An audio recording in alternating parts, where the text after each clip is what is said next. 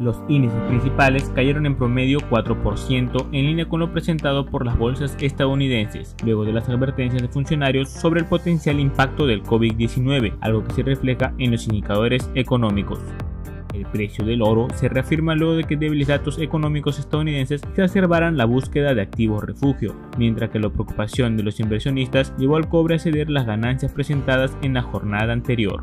Telefónica del Perú comunicó mediante hechos de importancia, adjunto a Latin America Cellular Holding, accionista controlador, ha presentado una nueva orden de compra por la adquisición de más de 36 millones de acciones clase B al precio de 2.08 soles. Dicha orden se mantendrá vigente hasta el 23 de abril. El tipo de cambio mostró un nuevo avance tras haberse mantenido estable en los días previos. En esta oportunidad cerró en 3.472 soles luego de que el Banco Central de Reserva del Perú decidiera intervenir mediante la venta de swaps. Síguenos en nuestras redes sociales y no olvides suscribirte y activar las notificaciones en nuestro canal de YouTube.